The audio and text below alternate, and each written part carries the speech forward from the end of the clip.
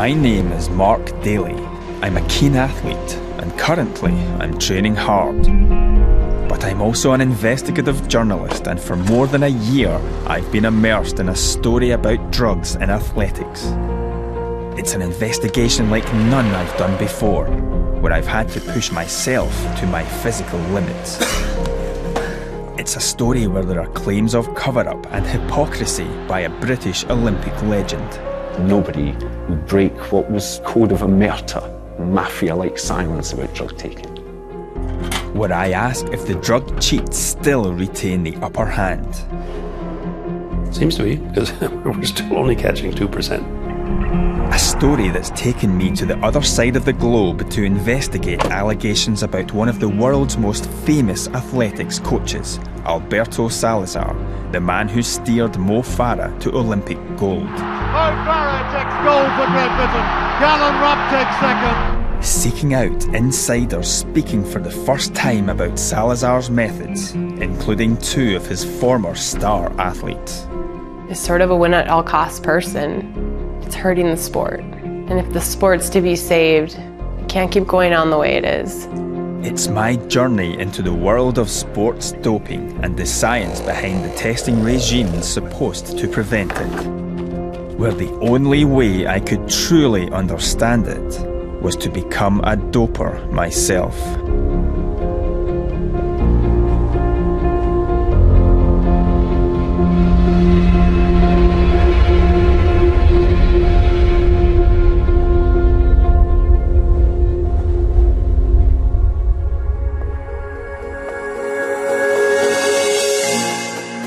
I'm about to embark on a journey where I'll be investigating major current figures of athletics.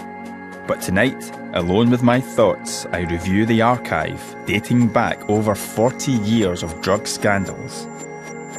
Some examples I remember from my teens. It's Johnson away and clear. Others are closer to home. In recent years, Jamaican sprint stars, Kenyan middle distance heroes, and the Russian Athletics Federation have all been caught up in doping scandals. Does that mean all the cheats are getting caught? Or are these high profile cases just the tip of the iceberg? I was following up a number of allegations, and I knew where I wanted to start.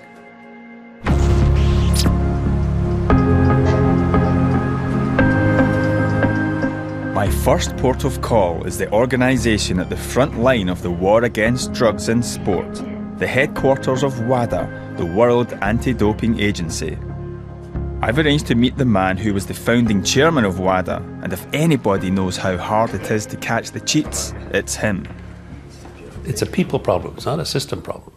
We've got a system in place, and we've got laboratories that, can do very robust analyses and, so forth. So, but if people don't want the system to work or don't care if it works, it's it's right now it's too easy to get away with that. Even today, it's easy to get away with, doping.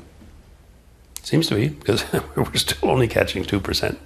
I think the technique of doping has has improved. You're thrown back more and more on investigations, more and more on on whistleblowers. The perfect example of that is Lance Armstrong. So I'm the most tested athlete on the face of the planet, and that proves that I'm I'm not using drugs. All it proves is that he hasn't been caught. The Lance Armstrong story brings back bad memories for me. Planet Armstrong has arrived in Paisley and it has literally brought the town to a standstill. When Armstrong came to Scotland a few years ago, I was the only one in the newsroom with a racing bike, so was duly dispatched to bring back the interview. Congratulations on your tour performance, and you're also riding in the Tour of Ireland next week. Yeah, yeah. Okay, well, best of luck, and uh, I'll, I'll see you on the road. Yeah, Starstruck, not my finest moment as a journalist. When the truth came out about Armstrong, I was devastated, but it didn't diminish my love for sport. Armstrong had sailed through hundreds of doping controls. If Dick Pound is right, and only 2% of dope tests annually are positive, Lance Armstrong can't have been the only big fish that slipped through the net over the decades. It was insiders, not tests, which were the key to unlocking the secrets of the drug cheats in cycling. And in my investigation into athletics, I've heard claims from insiders from an era where drug testing was primitive and poorly managed.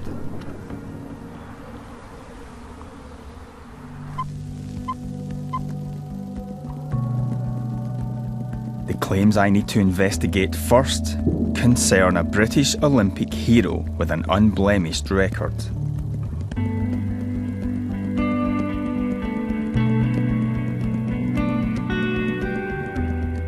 His name is Alan Wells.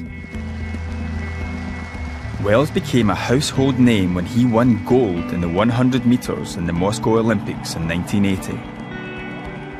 He put British sprinting on the world map and sealed his place beside British sporting greats. The first Briton to win since 1924. Since he retired, he's been an outspoken critic of drug cheats and has called for them to be given life bans. If you take a shortcut to an Olympic gold medal, then you deserve everything that happens to you.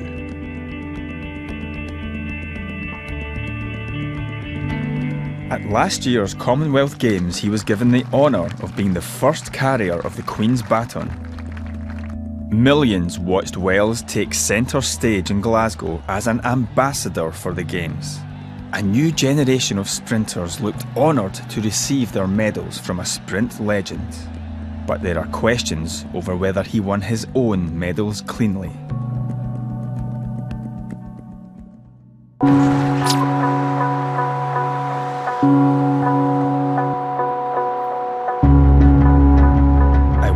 Start by immersing myself with the athletic stories from the Wells era. I find a series of three investigative pieces that appear in the Times newspaper back in 1987. One British international sprinter who's not named is quoted as saying, If you're not on anything, it's like lining up on your blocks with plimsolls when everyone else is wearing spikes. The clear implication there is that unless you're taking drugs, you simply can't compete. Many of the sources are athletes, anonymous insiders willing to talk about the scale of drug use. One story in particular caught my eye. The most significant thing about the second piece in this series is the reference to the medical doctor supplying and monitoring athletes who were taking steroids. Now, he refers to himself as the junkie doctor. He's called Dr. X. And talks about supplying athletes with a drug called S. And the S is Stromba.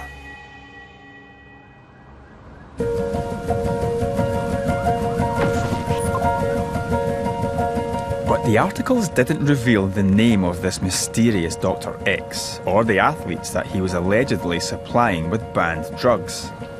I've come to London to meet someone who might be able to help.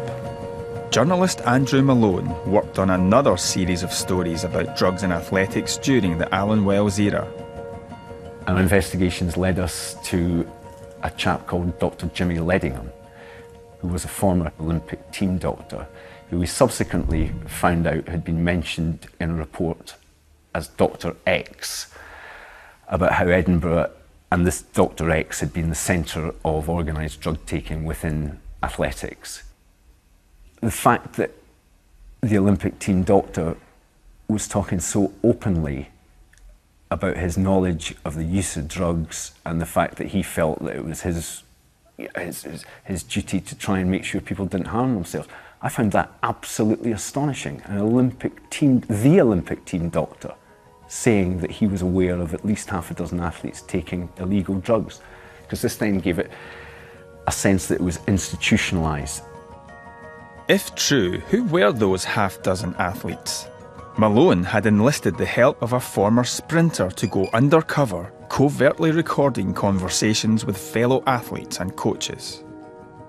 It was more evidence, more proof that it was something systemic within the sport, that everybody was fully aware of the scale of the drug taking, but there was money and glory involved. So it shut down every leak, every story coming out, and you know, trust that nobody would break what was you know code of omerta, mafia-like silence about drug taking.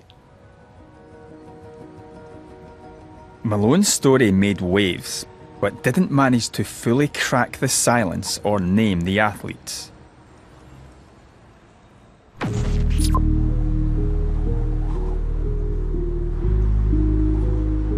There was one man I had to track down, Malone's insider. His name is Drew McMaster. He started off with a yard and a half, and Drew McMaster whittled it down to a yard. I'm 23 just, so we've got a long way to go. McMaster was a top class international athlete and a great rival to Wells. Together, as part of the so called Flying Scotsman Quartet, they made history. Scotland win, second Trinidad, and third Jamaica. The first man with the baton in that race, David Jenkins, would later admit to using steroids during his career. So too, after years of denial, did Drew McMaster. And McMaster was a patient of Dr. X, Jimmy Ledingham. So, what more could McMaster tell me Jimmy's surgery was quite busy with international athletes. And of course, they weren't exactly in his jurisdiction, were they? You know, they're coming from all over Scotland and Britain to see to see Jimmy. They're coming to do that for a reason. And it's not because I've got a sore ankle. Was Alan Wells a patient of Jimmy Ledingham? A regular. Regular surgery. Did Jimmy Ledingham specifically tell you that he was supplying Alan Wells with steroids? Categorically, on a Bible, definitely. You were eclipsed by Wells. Should we believe you? Or is what you're saying the result of a bitter man whose career didn't quite get there?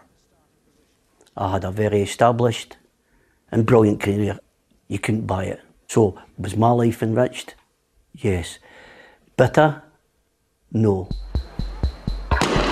Master wasn't away that well. Alan Wells has taken the lead as they come into the bend. Wells has previously attacked McMaster for speaking out about doping, accusing him of smears and raking the gutters. Wells had said, The truth is, McMaster turned to steroids because I had started beating him, and I was not using drugs. There is no evidence Alan Wells failed a drug test during his career, but McMaster told me he'd secretly recorded conversations with Jimmy Ledingham admitting supplying Wells with banned drugs. I've obtained some of the transcripts and have made sure they are accurate to the original recordings. These are excerpts from the transcripts of those conversations, the full extent of which have never been broadcast before.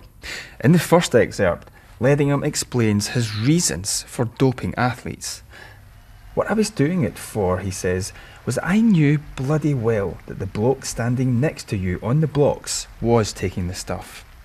He's then asked if Alan Wells was also getting his steroids or stuff from him. He, Wells that is, was taking stuff from all over the place, not just from me. Everybody knew Wells took drugs. But he said that he'd never speak on the record about Wells or about any of the other half dozen or so I've known to have taken things.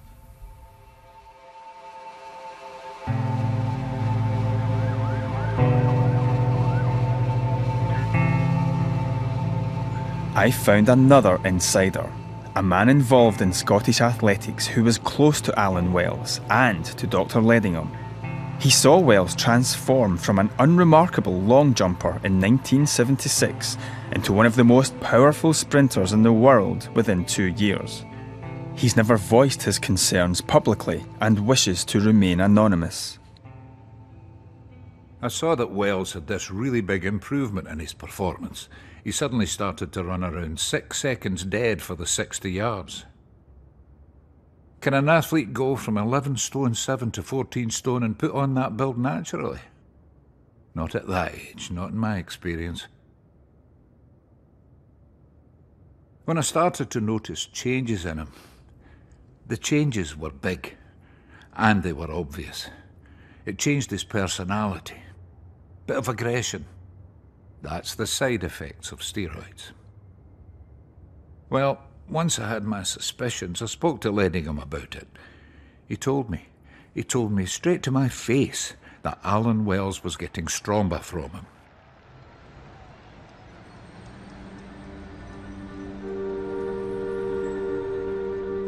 So, how would an athlete avoid a positive drugs test in those days? The doping controls were limited with no out of competition testing. But Drew McMaster claims he was coached to avoid testing positive by the Olympic team doctor, Dr. Ledingham. Jimmy talked to me about uh, testing, how the test procedures were. At the same time, he was supplying Stromba, and there was never any question about being tested positive because we were well practiced take diuretics and drink lots and lots of water so that your kidneys was flushed out. So um, the testing at that time, it, it was more difficult for to uh, detect.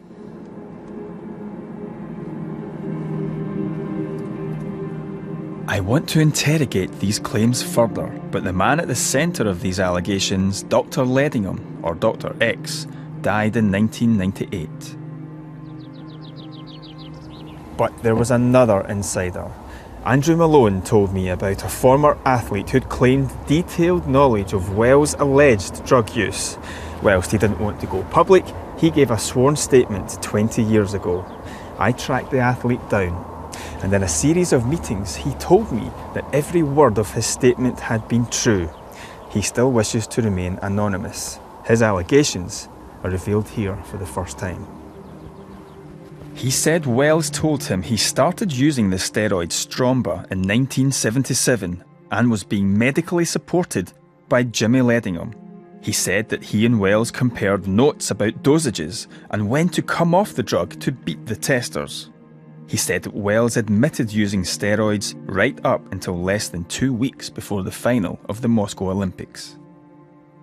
If there was no reliable drug testing, witness testimony is the only way to explore these historical allegations of doping, which, if true, would put Wells' public position as an ambassador of clean sport at odds with his own past.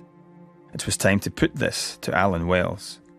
He declined an interview, but in a letter, his lawyer said, It is not true our client had used any banned performance drugs at any time.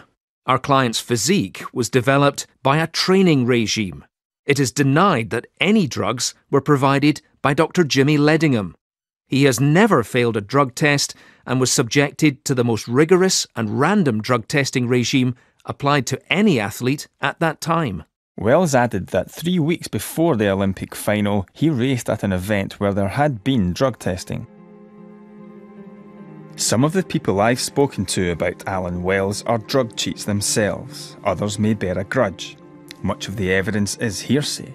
But three men who knew him well have made sworn witness statements implicating Wells, whilst a doctor is on tape admitting to supplying him with banned drugs. Only those who were there at the time can ever know the whole truth.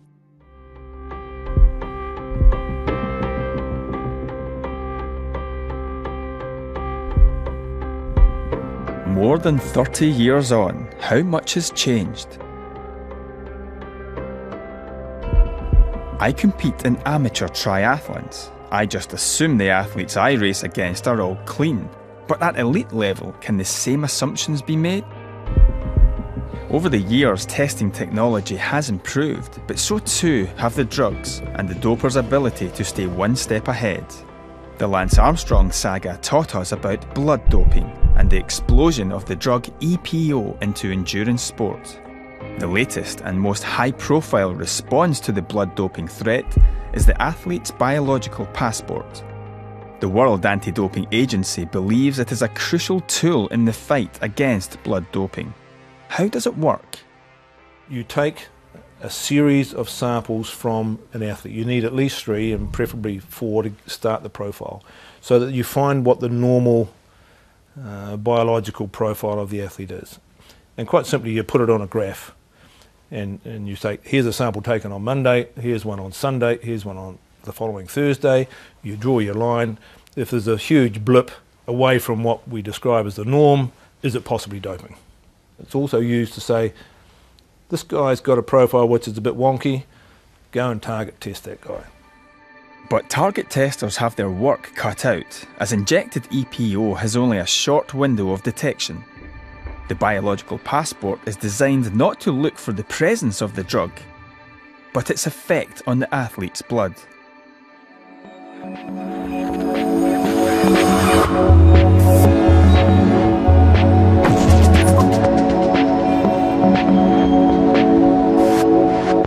I travelled to Switzerland to meet one of the world's leading experts on how EPO affects the body. Erythropoietin is a substance that is produced within your body, mainly in the kidney. It facilitates the synthesis of new uh, blood cells. And if uh, an endurance athlete started to take EPO, it will increase your amount of red blood cells. These red blood cells carry the oxygen that the skeletal muscle need for contraction. More oxygen, more power, the faster you go. It's pretty straightforward actually. The athlete biological passports can indicate that you have performed any type of, of blood doping. It will show that you have abnormal variations in your blood counts, that, that something fishy has got on. Some, including Carsten Lundby, have questioned the passport's effectiveness, but it is seen as the best way to catch blood dopers.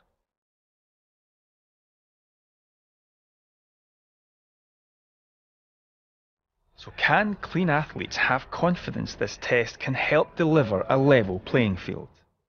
To find out, I've come to a decision that I've not arrived at lightly. I'm going to do what no elite clean athlete can do. I'm going to put the test to the test. By becoming a drugs cheat myself.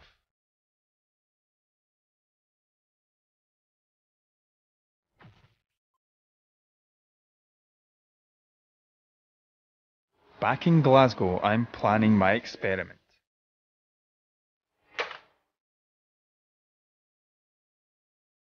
But without a compliant doctor to prescribe the stuff, how would I get my hands on it? The internet, of course. There are dozens of websites selling this stuff, apparently, from China. I don't know if it's genuine, I don't know if this stuff would ever arrive, but I'm going to give it a try and push the button and order some.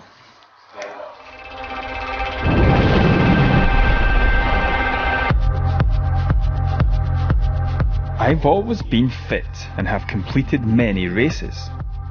But for the past four months in the run up to my experiment starting, I've been working with a coach so that I can get fitter than I've ever been. I do this so that when I do start taking EPO, I should be able to tell that any big or unusual improvements I make will be down to the drugs.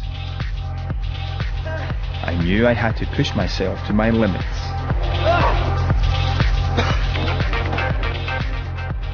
In the meantime, a package from China arrives. Now, whilst it's not strictly illegal for me to have ordered this over the internet, one suspects that someone somewhere is breaking a law.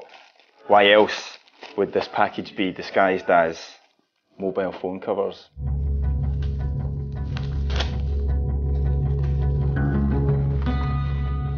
Black bin bag, not exactly pharmaceutical packaging. Two boxes, five vials of 3,000 units of EPO in each box. It certainly looks the part. We had it tested, and it was indeed genuine EPO. I was good to go. I'll have my bloods taken every week, and for the first three weeks I'll be drug free. I found a source within the anti-doping world who'll run my blood values through the biological passport. I'm training hard in preparation for a scientific performance test called a VO2 max test, which will tell me how fit I am as a clean athlete.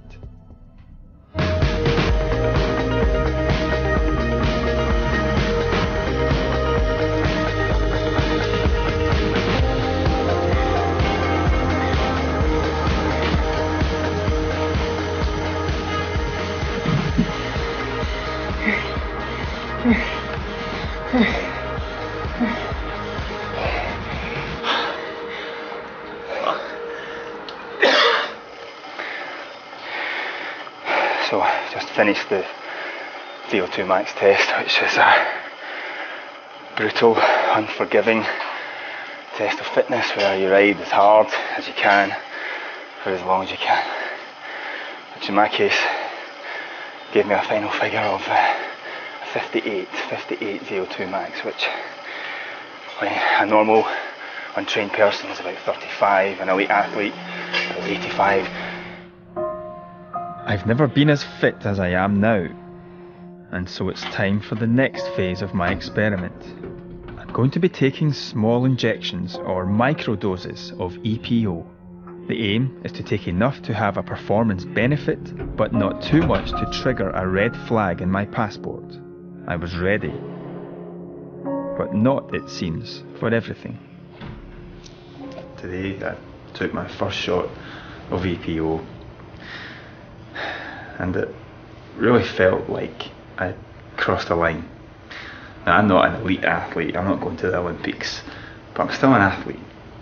And today I cheated. I can tell you, it doesn't feel good.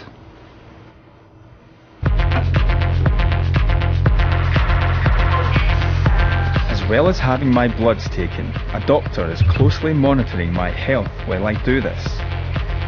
But unlike Lance Armstrong, I don't have a scientific entourage helping me avoid the pitfalls. I'm on my own. Tonight it was a three hour ride. It was a training session I wasn't looking forward to at all. It's dark, it's cold, my legs were sore. I knew it was going to be deeply unpleasant. Except it wasn't. It was so easy that uh, something just wasn't right. And by the end of the ride, when I should have been wasted, I was fresh as a daisy.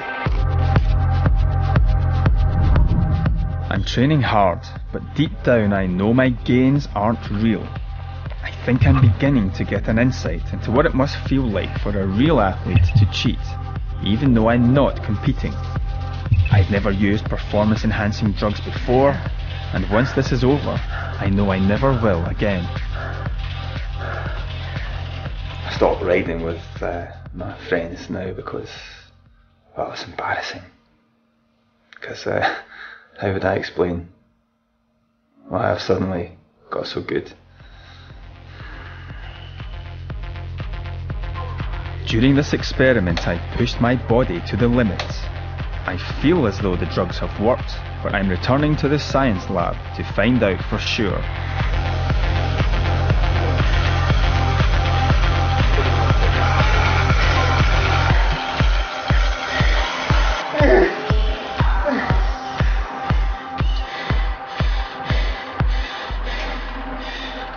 My VO2 max has increased from 58 to 63 my maximum power, my maximum watts, the power that I could push the pedals has increased from 350 to over 375. That's about a 7% increase. 7% in seven weeks. The margins are incredible. 7% may not seem like a lot, but in elite terms, even 1% would be huge.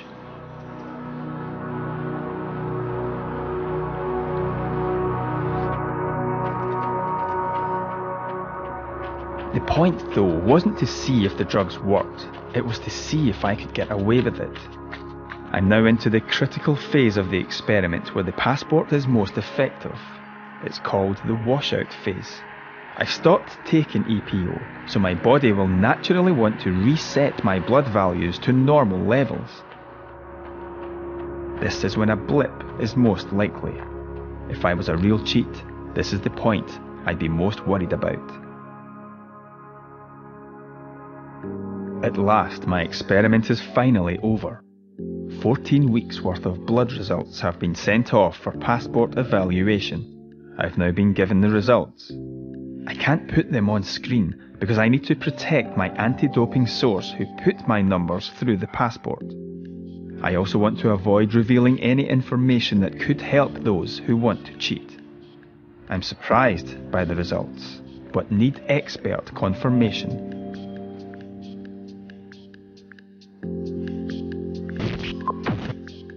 I've come back to Zurich to Carsten Lundby, who's agreed to interpret the data. I received your results today and I've looked at them. There's no adverse analytical finding, so you seem to have passed the test while at the same time doing EPO. This means, of course, that you got away with it. You got away with injecting EPO into yourself at a dose sufficient to increase your exercise performance. So, had I been doing this for real, and anti-doping was testing me once a week, yet I was injecting EPO the whole time, I would have got away with it. That is what this study shows, yes. Well, after what seems like months of living like a cheat, thinking like a cheat, injecting drugs like a cheat, today I've been confirmed as a successful cheat. I got away with it. I think the most depressing thing really is just how easy it was. Now to Montreal, the headquarters of the World Anti-Doping Agency. Whilst I'm not a professional athlete and wasn't subject to target testing, my experiment had exposed a weakness in the passport, its sensitivity to microdosing. What would WADA's chief executive say about what I had done? Well, I'm not worried about you because you're not an elite athlete. Uh, excuse me for saying that. But uh, I think what concerns us, or would concern us, is if uh, you can manipulate your body to beat the passport program. And the issue is the, the technical analysis, if you like, of the profile to see whether there's a blip that might have triggered either a target test, which might have produced a positive, or whether there's sufficient in your profile to show, well, you're able to take banned substances and still remain normal. That would that would concern me. I'm just a journalist without any kind of medical support personnel and I managed to drive a coaching horses through the athlete's biological passport. Uh, we certainly know that people try to get to the margins of beating systems, and the passport will be no exception to that. Back in Glasgow, it was time to take stock.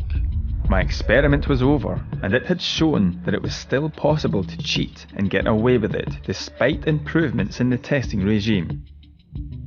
Leaving EPO behind, I now needed to move on to a different phase of my investigation.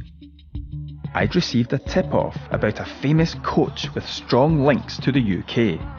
It was time to get back to athletics. Can it be a 1-2 for the Salazar group? It looks like it. It's Mo Farah takes gold for Great Britain. Galen Rupp takes second. Alberto Salazar has trained them well and, and they have produced the goods for him.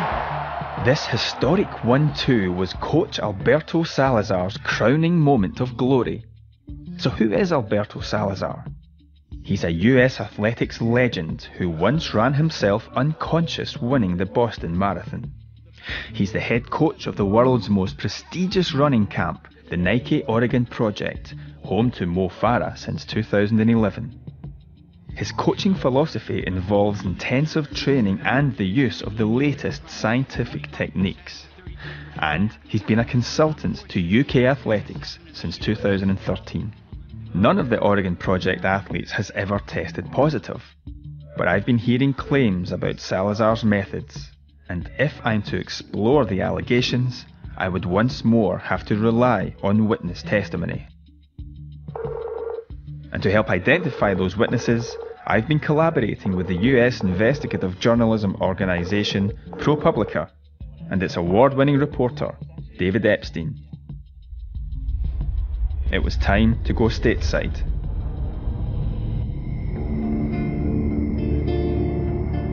After a long flight time, now on my way to meet my first American insider, Stuart Egan. As a youngster, he was friends with Galen Rupp and both trained under the watchful eye of coach Alberto Salazar. Egan had a story which he said had concerned him for years. It was about the prescription steroid prednisone.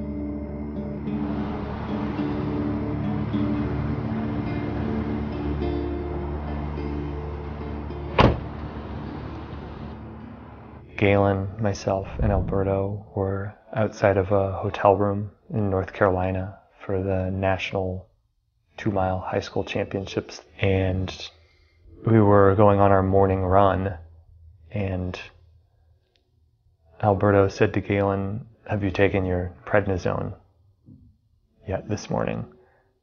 Galen went back up to the hotel room, took the prednisone, or so I assumed. And we just waited for about 10 minutes. He came back down and we went on the run. I was very surprised to know that a 17 year old was using prednisone. Did he appear to have any medical condition which might warrant using prednisone? No, not that I observed. I've heard from various sources that Galen Rupp used prednisone regularly, but he has asthma and allergies which could account for prednisone use. Prednisone is banned in competition, though athletes can use prohibited drugs if they have a clear medical need recognised by a doctor, a kind of sporting sick note known as a therapeutic use exemption, or TUE. We asked Galen Rupp for evidence of his TUEs. In a statement, Rupp said, Earlier in my career, WADA required TUEs for my asthma medication. The few other TUEs I've applied for and received related to the treatment of severe asthma flare ups. Alberto Salazar said, Galen only took prednisone when needed to treat an asthma flare up under the direction of his doctor for a limited period of time.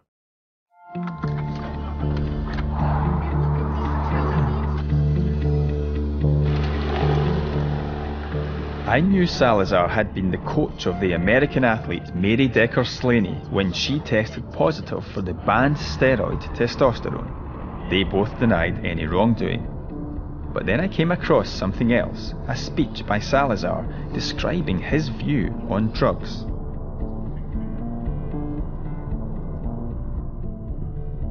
I believe that it is currently difficult to be among the top five in the world in any of the distance events without using EPO or human growth hormone.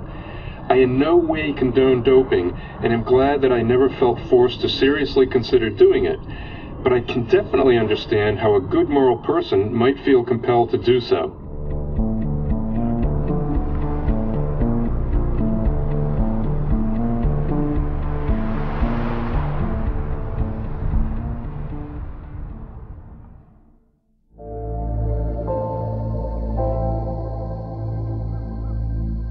Early morning run and a chance to reflect. I'm intrigued by what I'm discovering about Alberto Salazar. He's now established as one of the world's most successful coaches. But I was hearing stories about banned anabolic steroids being found in the Salazar camp.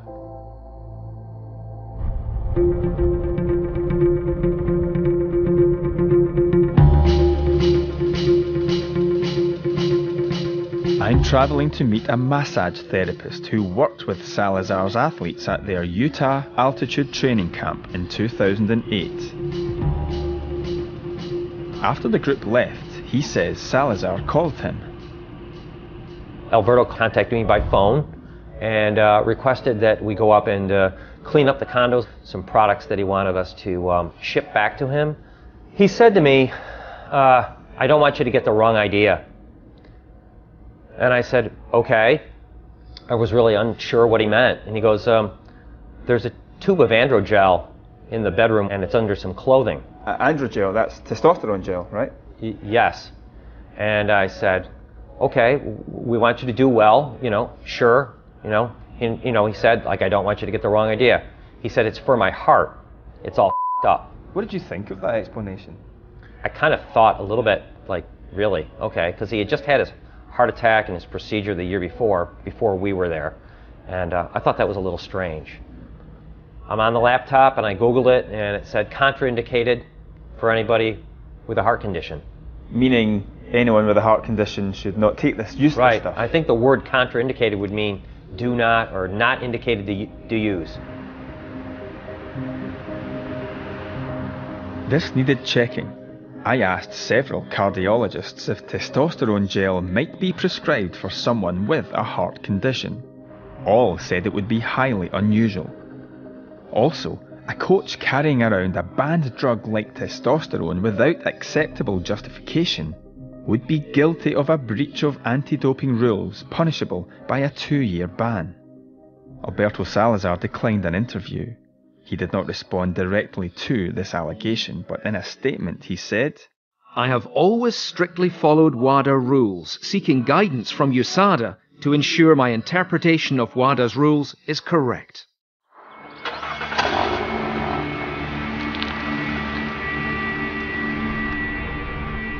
What I'd heard so far had come from people who hadn't been directly involved with the Oregon project.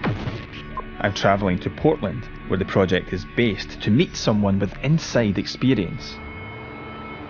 He was a runner who worked with the project for several years. We're calling him Mike, but he doesn't want to be identified. In 2007, he says he was feeling run down and went to see Dr. Loren Myhre, the Nike Labs head physiologist. So I did a blood test at, at Nike. Thyroid was low and testosterone was low. Uh, Dr. Myhre suggested that I go see an endocrinologist that Alberto works with, that most of the athletes work with, to get testosterone and thyroid.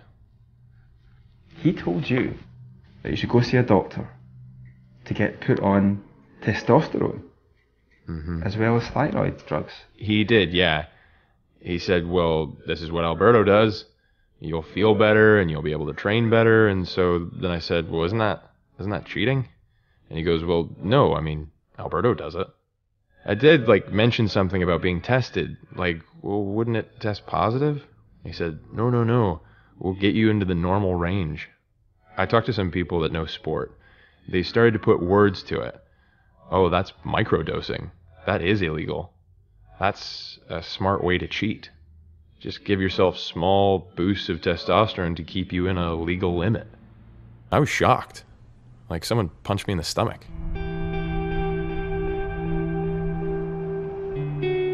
If what Mike says is right, then the Nike Labs top scientist Loren Myhre claimed microdosing testosterone was accepted by Alberto Salazar. The investigation was progressing, but my next move is to meet someone who'd been right inside the Oregon project, the man handpicked by Salazar in 2011 to be his number two. Steve Magness is now the head cross country coach at the University of Houston and the author of the coach's manual, The Science of Running. It's intimidating at first. I mean, I get there and, I'm watching Kerrick Goucher work out or Galen Rupp or uh, Mo Farah moved out at the same time, so I'm helping him move into his place. At that point, I thought, oh, it's a dream job. During that first track season in 2011, I started getting hints of this might not be what I signed up for. Steve Magness was going to tell me a story which he said connected Salazar, his star pupil Galen Rupp, and the head of the Nike lab, Dr. Loren Myhre, and he said he had documents to back it up. One day when I was at the office, some people from the Nike lab brought up lab reports and put them on Alberto's desk. And it was basically the blood levels of every athlete who had been in the Nike Oregon project. Started flipping through the book and, and came across Galen's. And in addition to the graphs, below every graph, they had uh, basically notes that Loren had, had taken. Under one of Galen's, it had uh, currently on testosterone and prednisone medication. And when that, when I saw that, I kind of jumped backwards. I was like, wait a minute, like on testosterone medication, testosterone uh, it's obviously banned. And I mean, I knew that. Everybody knew that. When I looked a little further, I saw it was all the way back in high school, and that was that was incredibly shocking. At that point, I actually took a picture of it, wanted to essentially have evidence in case something happens. And when I asked him about it, I was like, hey, Alberto, I, I came across this. I'm just a little bit concerned. And he looks up, looks at it, and he's like, oh, Loren Myhre, like, ah, oh, he's crazy. Like, we didn't do that. And that was, that was kind of the last I'd, I'd heard of that. Could it be possible that this was a, an isolated incident? There were multiple little things that kept adding up. To me, it was indicative of a, of a culture. This document suggested Rupp was being given testosterone in December 2002. It's unclear for how long. WADA rules today say athlete support personnel involved in doping someone as young as 16 could be liable for a lifetime ban. We would have put this to Dr. Myhre, but he died in 2012. Both Salazar and Rupp strenuously denied that Rupp had ever used testosterone. In a statement, Salazar said the legal supplement Testo Boost had been incorrectly recorded as testosterone medication. The allegations are based upon false assumptions and half truths. Rupp added, I am completely against the use of performance enhancing drugs.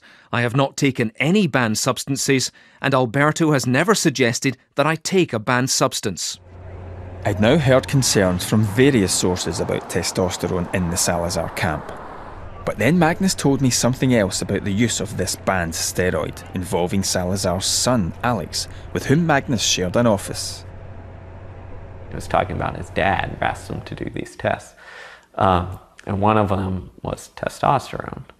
And he explained that they, you know, went down to the lab, rubbed some testosterone, um, took a test, rubbed some testosterone, took a test, and they were trying to figure out um, how much t- testosterone would trigger a positive test. And his explanation was that uh, they're worried that you know someone could sabotage them, I meaning someone could rub some cream on them after a race, and then that would trigger a positive test. You'd have to have an insane degree of paranoia to accept that, right? I mean, it's why why are you fooling around with something like testosterone, anyways?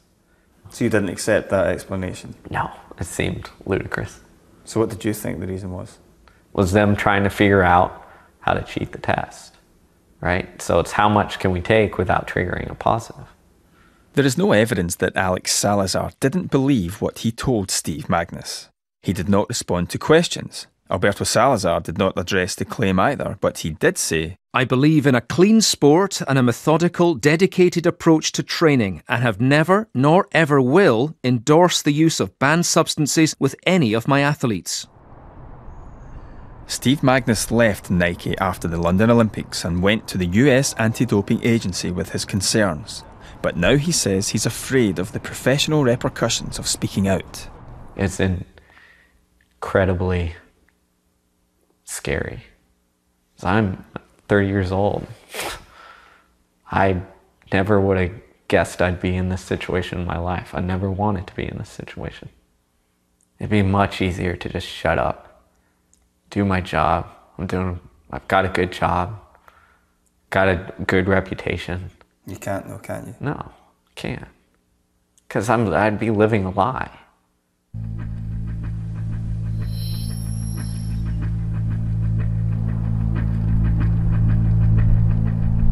Over a period of months, I'd heard from a number of former Oregon Project athletes about the so called grey area, the margin between staying clean and cheating. They talked about the use of asthma and thyroid medication, some told me that Salazar encouraged the use of thyroid drugs to help athletes shed weight quickly and in turn boost performance.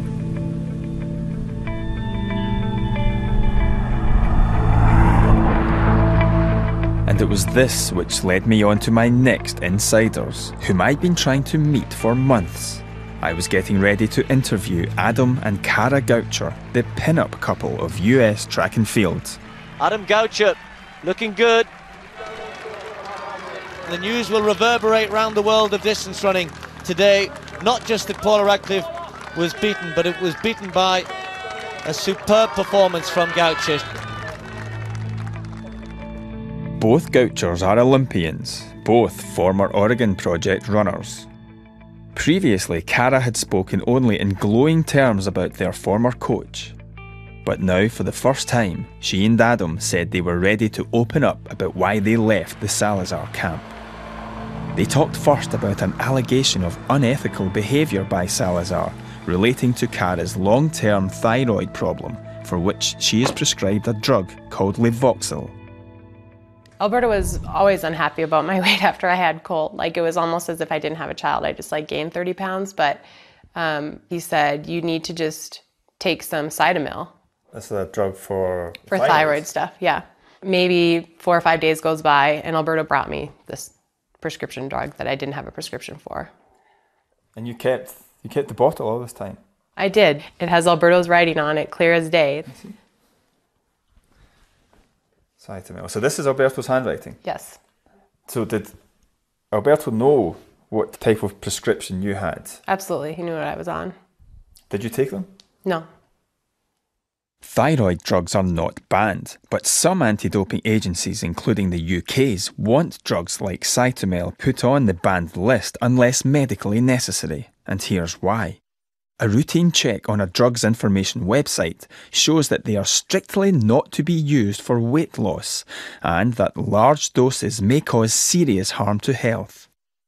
In his statement, Salazar said, No athlete within the Oregon Project uses a medication against the spirit of the sport we love.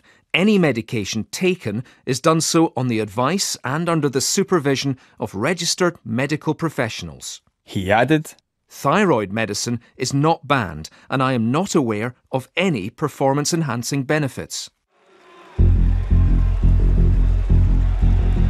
The Gouchers had another tale to tell.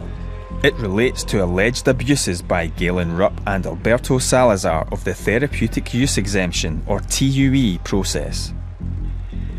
The Gouchers say that just days before this race at the World Championships in 2011, Salazar tried to get a TUE for an intravenous or IV drip for Rupp.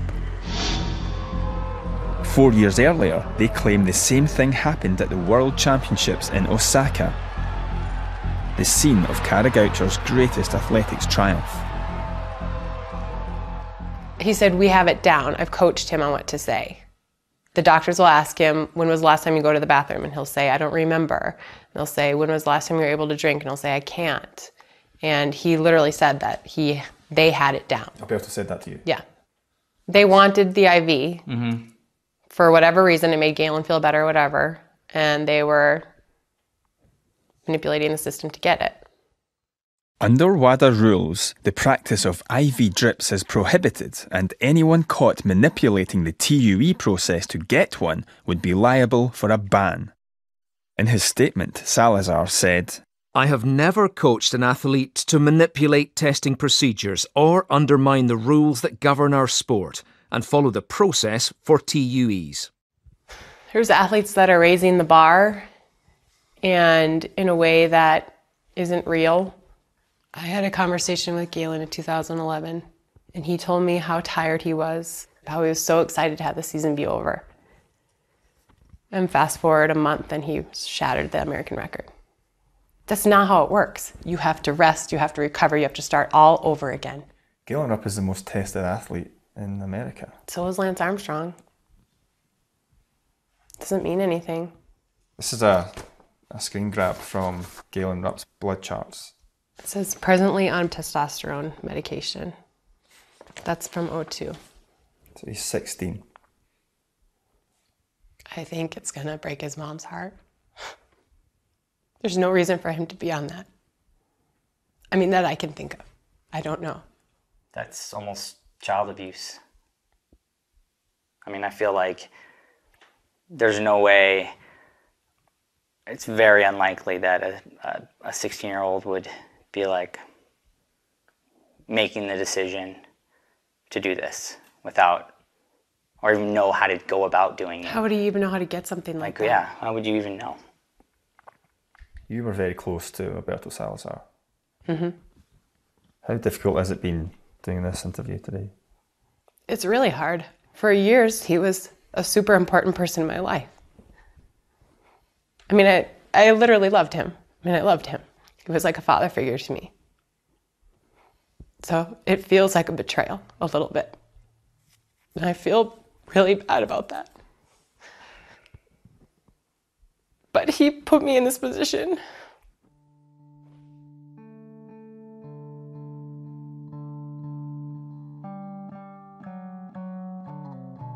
The Gouchers left the Salazar group and in 2013 took their concerns directly to Travis Tygart, the US anti doping agency chief and the man who brought down Lance Armstrong.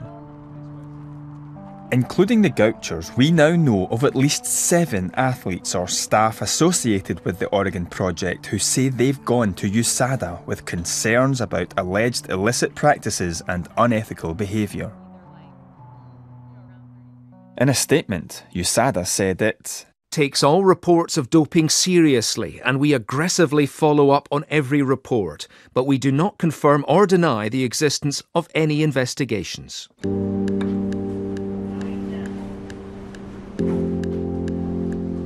So I took my evidence to the world's top anti-doper and showed him the Galen Rupp blood chart. Presently on prednisone and testosterone medication. Well, you'd need to be on a TUE for that. And it would be very rare that a TUE would be granted for testosterone. You'd have to be uh, pretty exceptionally sick for that. And even then, I would say the doctors would be more inclined to say, well, you probably should be resting rather than competing in, in, in big time sport. Are you disturbed by what I've told you? Totally. I mean, uh, I would be not only disturbed, I'd be very disappointed. Uh, and that's why I think uh, it needs to be scrutinised by, by us as an independent body. In this programme, you've heard allegations about banned drugs and unethical practices involving Alberto Salazar and his star pupil, Galen Rupp.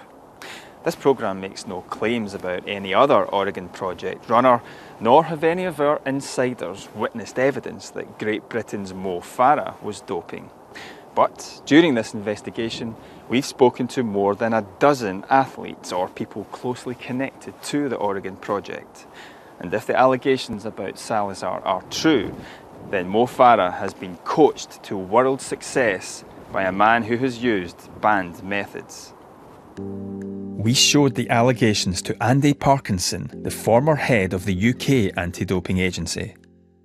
On the basis of the allegations that you've shown me and, and, that I've seen, certainly any athlete who's involved or associated with this group, including Mo Farah, should be seeking the necessary assurances around the fact that they're operating within a safe environment.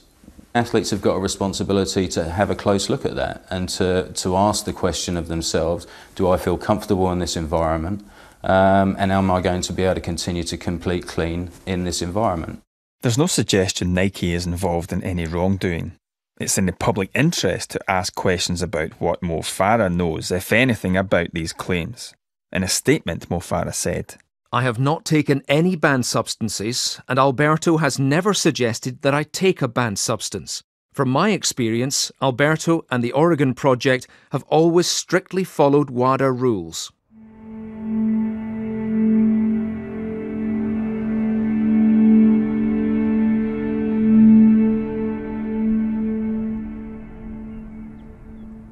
In this journey, I've learned drug testing alone isn't enough to keep sport clean.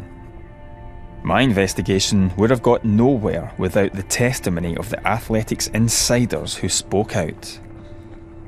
I'll look at sport with different eyes now, but I'm sure of one thing I've an even greater respect for those athletes who choose to compete clean.